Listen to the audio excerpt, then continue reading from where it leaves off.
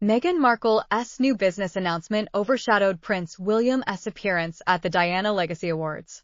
Prince Harry also virtually appeared at the event, expressing pride in the award recipients and thanking them for honoring his mother's legacy.